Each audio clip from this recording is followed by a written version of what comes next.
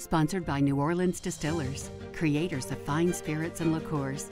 Through dedication to science, art, and passion, blends of tradition and flavor emerge. For you, always locally crafted. New Orleans Distillers, classically Southern. Tonight, a federal judge struck down the mandatory mask requirement on commercial airlines, and you could hear the singing from 30,000 feet. Netflix lost 200,000 subscribers last quarter. The singing you're hearing from them is the blues. And CNN Plus is a bust after only two weeks. We've got that and more tonight on this Friday, April the 22nd, 2022.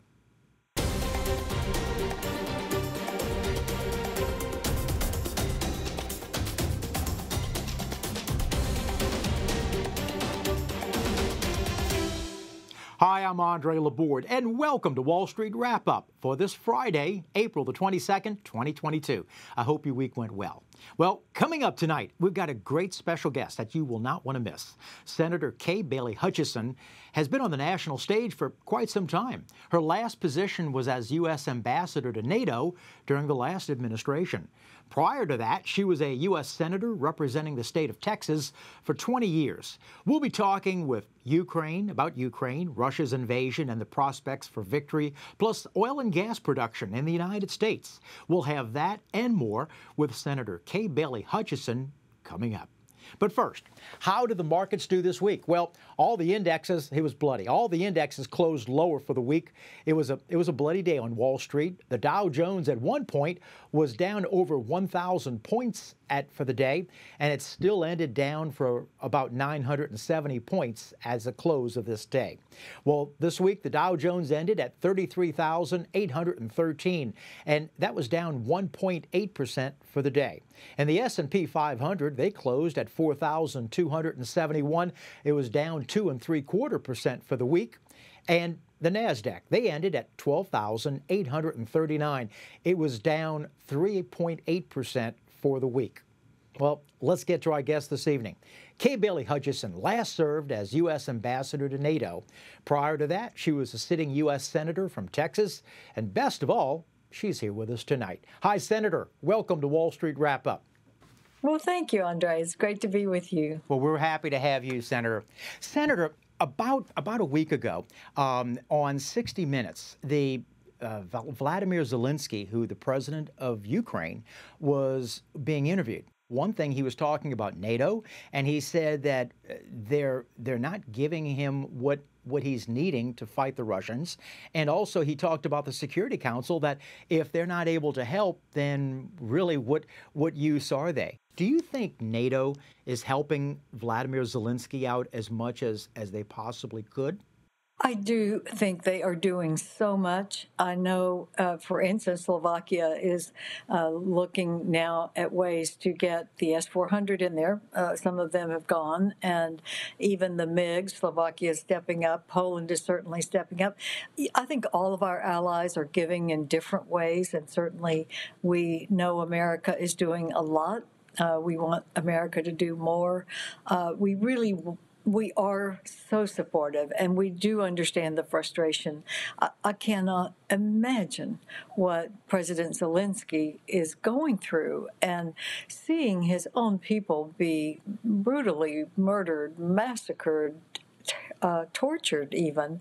Um, so, you know, he has a right to say, you've got to do more. And we understand that. We also are looking at other ways that we can be helpful, and I, I think we I think we are doing a lot, but we could do more, particularly in the area, uh, Andre, of uh, stopping the uh, the revenue stream that Russia has from its oil and gas. We cannot allow them to continue to require rubles, for instance, uh, and sell their oil and gas to pay to massacre Ukrainians. Senator, that's a very good point because I'm curious. I mean, we have countries that are part of the EU, and I'm thinking of Germany or Hungary, um, and India is not part of the EU, but I, I know that they also get Russian gas. What can we as the United States do to um, pressure these countries to to not buy oil, Russian oil? there are a lot of things we can do because we have trade relationships with countries that are continuing to help Vladimir Putin. Certainly, China is, and we we're using diplomatic skills, but maybe not uh, uh, clamping down where we could on actual trade uh, relations. And I, I'm puzzled by India. I really am. I think the president was right to call India Modi and to say, "What are you doing, uh, propping up this monster?" And I, I, I think the Indian people w- would not approve of. Um, of giving a revenue stream to Russia if you are if they are seeing what we are seeing in the horrific uh, murders of the Ukrainian people, and not to mention decimating their cities. Uh, I mean, it's just rubble over there in some of these cities that the Russians have just. Uh, bombed and uh, and indiscriminately targeted civilians the city of Mariupol. Uh, they were talking about, about Vladimir Putin possibly even using chemical weapons. Where's our red line? That is a red line for me uh, mm-hmm. that they would be using chemical weapons. For one thing, that is outside all the parameters of what Russia has agreed to in the past. I think that uh, we should be drawing a red line on the use of chemical weapons. All of our NATO allies have said that is uh, that a game changer Russia is going over the line already in the uh, treacherous uh, treatment of civilians. And so I think that um, I think we're certainly hopefully looking at all of that and ready to deter and uh, fight back uh, on any kind of chemical use. Vladimir Putin had put in as his lead general. Um, you were talking about Syria. Uh, I think he's he's known as like the butcher of Syria uh, because of hmm. his, his his tactics. The personality of Vladimir Putin is that his, is his back against the wall so that he's trying to save face, that he knows that it's not going the the way he had planned, that he's now going full force. All of the military people are believing that his back is against a wall and he reacts uh, to be more aggressive when that happens. And they have studied uh, his actions uh, in that way. So I, I, think he has become, uh, the leadership has become more and more horrific uh, as they have lost more and more ground. And I, I think the way the military people are talking about it is that what this has exposed is a very untrained Russian military, and it, has been a surprise. The um, lack of professionalism in the soldiers has been somewhat of a surprise. True. Yeah, one of one of your fellow senators that you when you when you served in the Senate, John McCain, used to call Russia a uh, it was a gas station with nuclear weapons. You're right, Andre. Uh, John McCain called Vladimir Putin a, a thug uh, mm-hmm. back when he was in the Senate. He knew Putin. He had uh, had been around him for years, of course, all the time he was serving in the Senate. But John came from military. But also, uh, John McCain knew that uh, you could never trust his word, and when he, like when he said that he would uh, allow a a corridor for people to leave the country, and then he bombed the corridor. Um, I mean, that's just so Putin. And John McCain was very clear eyed about uh, Putin and the need to deter against Putin and not trust him. And I think that his words are coming back in many respects. But here we are. Um, with tanks that don't run and lined up, unable to uh, do anything, and making mistakes that wouldn't have been made in World War One. Vladimir Putin's word really can't be trusted. So I know that they want a truce right now, which I think is also a code word for wanting his army to uh, to regroup to be able to get stronger. But he wants, I'm sure he wants to keep the territories that he so far has has gotten. And I'm assuming Vladimir Zelensky is wanting the Russians to pull out of Ukraine altogether, which I'm sure Putin will not want to do. But even no matter what, can you even really trust Putin at whatever he says? You know, I dealt at NATO with uh, Russia and the INF Treaty, and we kept saying to our allies uh, Russia is violating the INF Treaty. They are building the weapons that they agreed not to build, which is an intermediate range ballistic missile, and they and it is a missile that could have a nuclear warhead on it.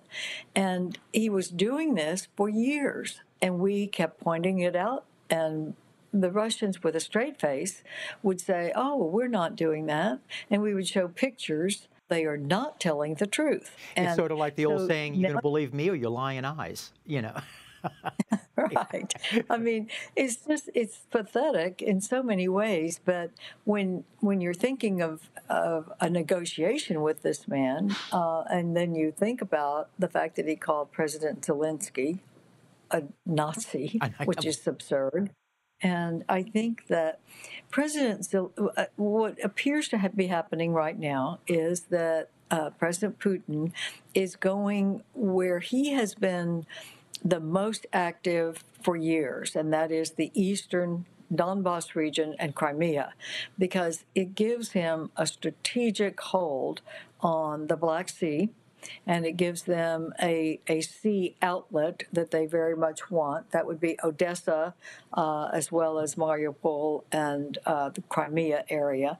And then to solidify the eastern uh, front that would allow them that capability to have uh, the strip of land that connects to the Black Sea and I think it looks like right now that that he is regrouping there because that's what he has wanted and he's wanted for years. I think uh, Zelensky has been magnificent in his response to this and his bravery, even though he, all of the intel showed that he was a target for assassination. But he said, I am staying, I am with my people, and we're fighting for our country. And you have to admire him so much for the way he has handled all of this pressure and has reached out for help throughout the world, and he's gotten so much help. Prior to 1994, Ukraine had the third largest amount of nuclear weapons in in their area. Uh, Russia being United States, Russia, and Ukraine. Because when the Soviet Union pulled back, well, there was a an agreement called the, the Budapest Memorandum, and the Soviet Union, Russia, promised not to invade, and the way I understand and read the, the memorandum was that the United States promised to protect Ukraine in the event that if you give up your nuclear weapons, we then will do this, which would be of a protection. And it was signed in 1994 when Bill Clinton was the president. Do you think the United States, does, do we have an obligation to protect them? Well, I do think that, that I think President Zelensky is right to be concerned about uh, giving up the weapons and trusting uh, Putin uh, not to invade, and then to expect us to be helpful. And I think we are being helpful. I think we're being helpful in many ways. I think we could do more, and I think we are obligated to do more. I think the sanctions have to go much further. I think we should be uh, making sure that they get the uh, particularly at this point, the two things that they have said they want that have not yet occurred are the Russian airplanes that they know how to use and would give them more power in the air, mm-hmm. and then the Navy, the the naval uh, weapons that would help them to protect Odessa and these uh, border countries on the Black Sea, uh, because the Russian Navy is is using those attack ships uh, to go into Ukraine. So we need to be able to help Ukraine have the capability to take out those ships that are obliterating their um, their border coastal cities. The, the administration was going back and forth prior. Um, even Vice President Kamala Harris and um, National Security Advisor Jake Sullivan were all, and, and others were all saying how uh, the sanctions were to deter. And then the president, a couple of weeks back, said, well, the sanctions were never meant to deter. Uh, so they, they, they have their messages not on the, on the same wavelength. Do you think that the sanctions are having a, a, a positive effect against Russia? I think the sanctions are are marginally helping. Yes, I think that it is hurting the economy of uh, Russia, but they're not complete. And they need to be complete. They need to. We need to be able to shut down all of the banks. But Russia has cleverly said that they are going to uh, require all payments be made in rubles to prop up their economy and and their uh, revenue stream, and some of the some of the countries that are now taking Russian oil are paying in rubles. And I think that is a mistake. I think we need to bear down and not allow him to have any kind of a revenue stream that will keep him afloat and I don't think we're there yet. I think there are more banks that need need to be uh, shut down so that you they're not going to be able to use their rubles in the international marketplace. And I think also we have to cut off the dependency on oil and natural gas that is so important. And I think that is going to make the difference. And, and I think we could do more to show that we are going to have energy excess that we can export to our uh, European neighbors. Our oil and gas industry is not going to ramp up production when they when there are regulations that are stopping them from having LNG facilities built. There are regulations against the pipelines that would be able to carry the oil and gas. We need to have a reset on our own capabilities to create the clean energy that we create because we when we create natural gas it's the best cleanest form of energy that that is pro- produced anywhere else in the world and export to our neighbors to get them off the Russian uh, dependency. And True. Andre, they yes, it will take some time to build these LNG facilities, but Putin will see the handwriting on the wall if we open up and say, we have a goal of being energy independent and creating excess for our European allies. That would be very recognized by Putin to know that his days would be numbered in holding this hammer over the European allies for his oil and gas. We're going to take a break right now. We're talking, if you're just joining us, with former Senator from Texas, Kay Bailey Hutchison, who was also the former ambassador to NATO. We'll take a break, but don't go away because will be right back.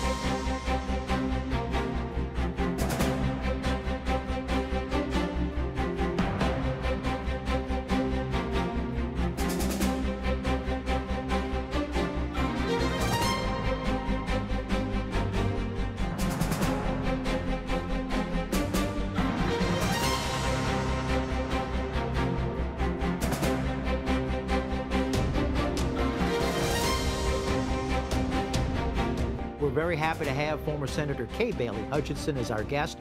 Uh, Senator Hutchison was also the former ambassador to NATO. Senator, right before going into a break, we were talking about oil and gas and how, you know, so many of the European Union countries are so dependent on Russia with the oil and gas. You're, you live in a state that is uh, they're number one in oil and gas, and Louisiana and other states are as well, too. Uh, do you think this may may finally force possibly the administration and others to to reduce the regulatory um, roadblocks? Andre, you are right on the main point, and that is our drillers, our producers would go in and and make the natural gas, the oil refining, uh, if they knew that there was a regulatory um, support for stability to know that the investments that they have to make up front, they're huge, costly um, investments that have to be made to build an LNG facility or to refine oil or to put it in a pipeline or to even build a pipeline. I think if there was a signal from the administration that there would be a change in the regulatory delays and the regulatory schemes that really combine to make it hard to depend on a long term that they could have a rational uh, financial decision to go forward and build a pipeline or build an LNG facility. And pipelines ha- have shown that they are much more environmentally friendly than putting oil and gas just on trucks or trains or um, uh, really taking much more of a carbon imprint. So I, I think also I France is also talking about an LNG facility now uh, that they are. Yes, they are. France yeah. and Germany uh, mm-hmm. has gone back into that, and of course, no one talks about nuclear anymore. But n- nuclear is a very clean energy, uh, and it's very expensive to build. But then it is much less expensive to operate, and it becomes a lower cost for consumers uh, that do have the nuclear energy. But many of the even the states in America, like California and New York, are beginning to ban nuclear, which is a clean form of energy that is also cost effective if you have the regulatory environment that our producers can see that the investment will be able to be paid back and become a, a profitable uh, enterprise. And if we do that, then we will have access that we can help our European allies, and it will be a win for everyone all the way around because then Europe will never have to be under the thumb of Vladimir Putin again. About three weeks ago, there was a an oil and gas conference in Houston, Texas, and uh, Daniel Yergin, who wrote the book the prize uh, was talking about it, and he said they had more representatives from the EU uh, uh, questioning about how to build their own LNG terminals in Europe that I think this was a wake up call all the way around. What we were discussing earlier about Russia. And I'm thinking going on the other side of the globe of China. You know, Xi Jinping is looking at this, of what's going on, how the how the UN is handling it, how NATO is handling this. Do you think, and I know Xi Jinping certainly wants Taiwan as part of as part of their Chinese domain. Do you think what's happening will will stop Xi Jinping from possibly going into Taiwan, or do you think that he may not have a better chance than right now of going in to Taiwan? Very interesting question, Andre, because uh, Xi Jinping uh, is, I think, wanting to test uh, the whole situation with Taiwan, but I think he's been sideswiped by Vladimir Putin because Putin has done this horrendous invasion of Ukraine and has failed in many respects and is now a pariah uh, on the international um, in the international world. And I think Xi is looking at this and saying, well, we now I'm being paired with him, Putin, and I'm not very comfortable with that. Um, so I don't I don't know where he will come out. Uh, I think Putin decided to test America to see if we were soft and not going to be very tough. I think he was testing NATO. I think uh, we have come through with NATO being even more united than ever and probably expanding. You know, Sweden and Finland are both talking about joining NATO. Finland, especially, has a very long border with uh, Russia. But I think Xi um, is looking at this and saying, is is do I want to be a pariah with all of the trade um, entanglements that Xi has and depends on for the economy of China? Um, does he really want to do that? Maybe. I, I can't predict, but I certainly think he has been put in an awkward position by Putin, and I don't think he wants to be paired with Putin. And I, I hope that both Xi and Modi in India will uh, say that they want to be part of a uh, a trading partnership that is free and fair. That's why we allowed China into the World Trade Organization. And I hope that's the path that the president Xi takes, but I can't predict. Senator, unfortunately, we're out of time this time, but I hope you come back. Thank you, Andre. It was great talking with you. Thank you, Senator. We appreciate it. Well, if you've got a question about finance or a comment about the show, we'd love to hear from you. Make it pithy, concise, and write us at Andre at WallStreetWrapUp.info. And now we'll look ahead for next week. But first, what billionaire CEO created a video game called Blastar at the age of 10 years old? We'll have the answer in just a moment.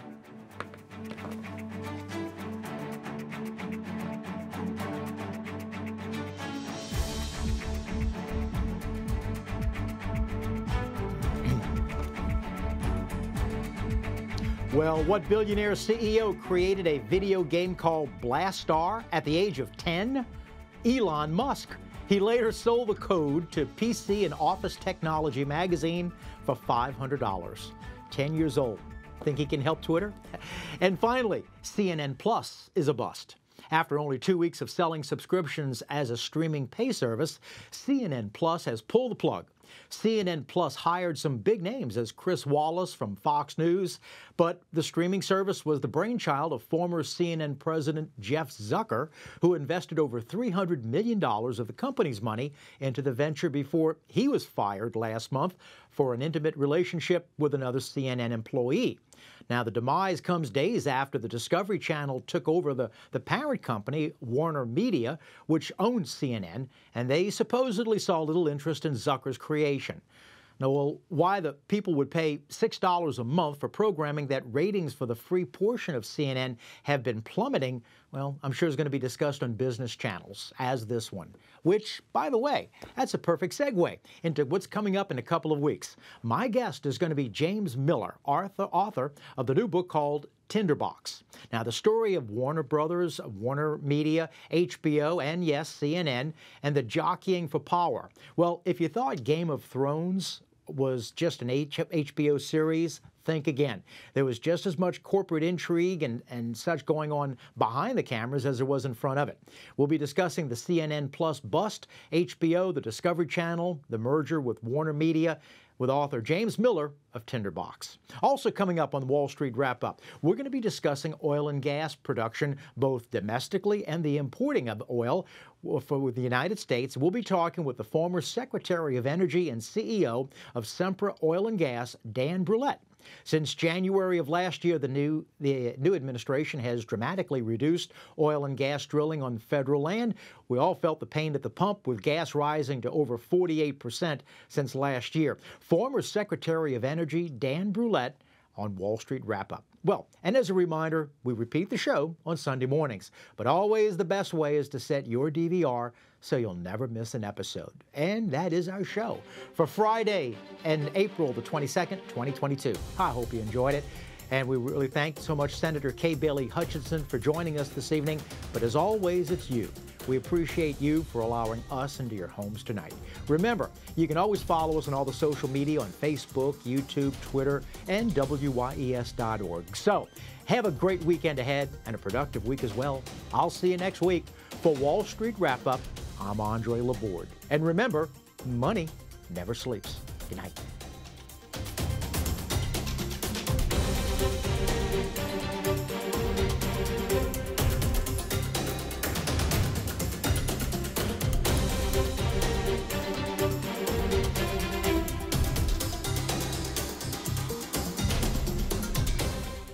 Sponsored by New Orleans Distillers, creators of fine spirits and liqueurs. Through dedication to science, art, and passion, blends of tradition and flavor emerge. For you, always locally crafted. New Orleans Distillers, classically Southern.